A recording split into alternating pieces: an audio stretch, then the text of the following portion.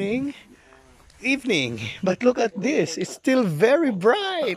It's actually, what time is it? 7 o'clock in the evening. It's seven. 7 o'clock in the evening Seven o'clock. Uh, Here's a my couple friend minutes. Lorenzo. Yeah. Yeah, it's seven o'clock. 7 Okay. o'clock in the evening. But look, it's still very bright.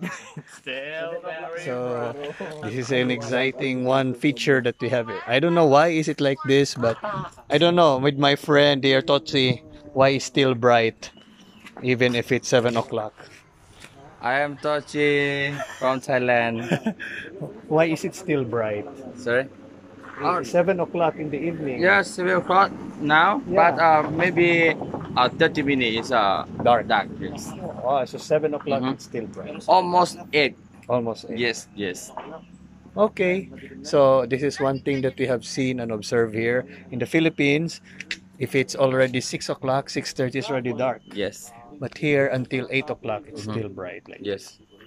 Okay. Okay. Thank you, and let's discover that Thank as we go you. along. Bye bye.